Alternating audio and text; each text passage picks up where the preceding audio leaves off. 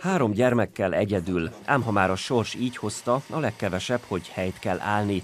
Ahhoz viszont pénz kell, sok pénz. Zoltán történetét olvasva egy szolnoki cég jelentkezett. Aki anonimitást kért tőlünk, de azt mondta, hogy szeretné a családját támogatni készpénzzel, úgyhogy ezt a felajánlást hoztam most el önnek, úgyhogy fogadja nagyon sok szeretettel.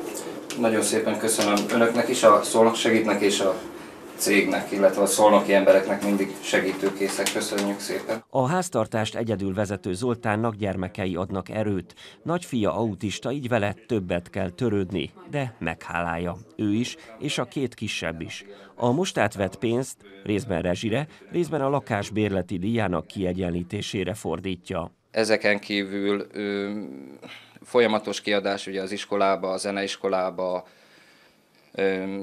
tanszerek, kiegészítők, hangszerkiegészítők, azokhoz akár az utazás és a mindennapi élethez. Melynek fontos része a zene. Íme az oklevelek közül pár, melyeket három gyermeke szerzett. Mindannyian csellóznak.